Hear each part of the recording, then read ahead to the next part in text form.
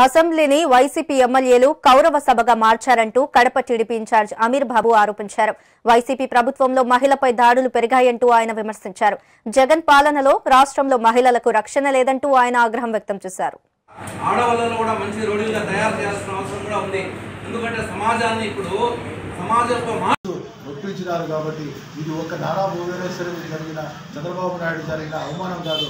మొత్తము యావత్ భారతదేశంలో ఆంధ్ర రాష్ట్రంలో ఉన్న మొత్తం మహిళలందరూ కూడా జరిగిన అవమానంగా భావించి రాబోయే వీళ్ళ యొక్క రాక్షస పరిపాలన చమరగీతం పాడడానికి మహిళలందరూ కూడా కంకణం కొట్టుకుని ముందుకు సాగే విధంగా ప్రణాళికలు వేసుకుని ముందుకు సాగడానికి కూడా ఈ వైసీపీ ప్రభుత్వాన్ని హెచ్చరిస్తుంది ముఖ్యమంత్రి గారు అప్పటికప్పుడే స్పందించి వాళ్ళకు అప్పుడుగా ఆయన వచ్చి దానిపైన ఎందుకంటే సాచ ఆయన జిల్లా వాసే కాబట్టి దీనికి ఏ విధంగా నిర్మూలన చేయాలా? బుగ్గవంక ఎప్పటి నుంచి ఉండాలి పరిస్థితి?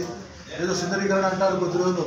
మళ్ళీ ఏదో వచ్చేసి ఇరు సైడ్ వచ్చేసి నలభై అడుగుల రోడ్డు చాలా చాలా ఆహ్లాదకరంగా మేము దాన్ని టూరిస్ట్ స్పాట్ చేస్తాము అనేది చెప్పారు. ట్యాంక్ బండ్ ఏదో దేవుని గడప కూడా ట్యాంక్ బండ్ కడతామని ఎక్కడ చెప్పారు. కృష్ణా థియేటర్ నుంచి ఆ, దేవుని గడప వరకు నూట ఐదు కోట్లు శాంక్షన్ చేశాము. అది ఏమైందో ఏమో దానిపైన జిల్ జిల్లావాసి ముఖ్యమంత్రి అయినాడు కానీ ఏ మాత్రంలో ఒక్క అంగుళం కూడా ఆయన అభివృద్ధి ఈ జిల్లాకి ఏం చేసిన దాఖలు లేవు.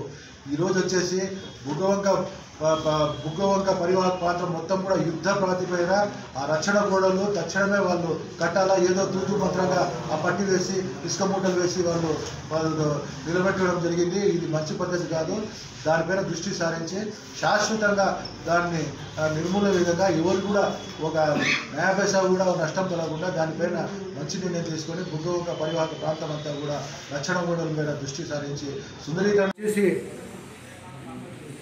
సాక్షాత్తు పద్నాలుగు సంవత్సరాలు ఈ రాష్ట్రాన్ని పరిపాలించినటువంటి ఆంధ్ర రాష్ట్రంలోనే కాకుండా భారతదేశంలోనే కాకుండా ప్రపంచ స్థాయిలో గుర్తింపు కలిగిన నాయకుడైనటువంటి చంద్రబాబు నాయుడు గారిని వాళ్ళు ఏ విధంగా మాట్లాడి ఆయన యొక్క మనసును ఒప్పించారో మనమంతా కూడా ప్రపంచ అందరూ కూడా టీవీలలో మనము చూసాము కేవలము జగన్మోహన్ రెడ్డి గారు ఏ విధంగానైనా కూడా చంద్రబాబు నాయుడు గారిని బాధ పెట్టాలా అవమానించాలా ఆయన మనస్సుకు నొప్పి ఇయ్యాలా అనే ఏకైక లక్ష్యంతో తమ తొత్తులుగా వ్యవహరిస్తున్నటువంటి ఆ కొడాలి నానిని వల్లభనేని వంశిని ఆంబోతు అంబటి బాబుని ఆ మ- మధు చంద్రశేఖర్ రెడ్డిని వాడుకోవడం ఎంతవరకు సమంజసం? వాళ్ళు వచ్చేసి అసెంబ్లీలో ప్రజా సమస్యలపైన మాట్లాడాలి కానీ ఇటు నారా భువనేశ్వరి గారి పైన వాళ్ళు అవాకులు చవాకులు పేలడము ఎంతవరకు సమంజసం అని చెప్పి కూడా నేను ఈ సందర్భంగా వైసీపీ నాయకులు జగన్మోహన్ రెడ్డి గారిని ప్రశ్నిస్తుంటాము ఈరోజు ఒకటే నేను హెచ్చరిస్తున్నాను కొడాలి నాని గారికి మీకే కావు తిట్ల పురాణం వచ్చేది మనం కూడా నోరెప్పితే మీకంటే ఎక్కువ తిట్లు మేము కూడా మాట్లాడగలుగుతాము.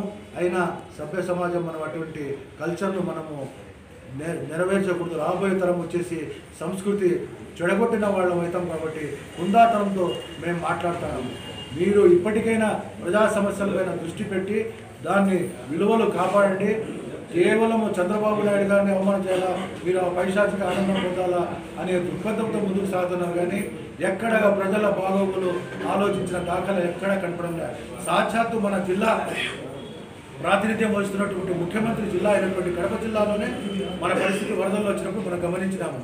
ముందు చూపు లేక ప్రజలను అప్రమత్తం చేయకుండా నందులూరు సమీపంలో ఉన్నటువంటి గుండ్లు గుండూరు పులదొత్తూరు ఇవన్నీ కూడా చూస్తే అక్కడ వచ్చేసి ప్రజలు వచ్చేసి అరవై డెబ్బై మంది కొంతమంది యాభై మంది అంటారు కొంతమంది నలభై మంది అంటారు.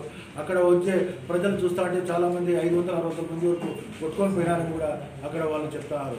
ఇవన్నీ కూడా చూస్తా ఉంటే అసలు మనము ఈ ఇలా పరిపాలన ఏ విధంగా ఉండాలో మనం ఊహించుకోవాల్సిన అవసరం ఉంది.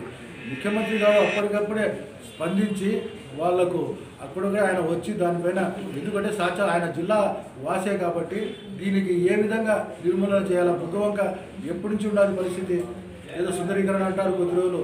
మళ్ళీ ఏదో వచ్చేసి ఇరు సైడ్ వచ్చేసి నలభై అడుగులు రోడ్డు చాలా చాలా ఆహ్లాదకరంగా మేము దాన్ని టూరిస్ట్ స్పాట్ చేస్తాము.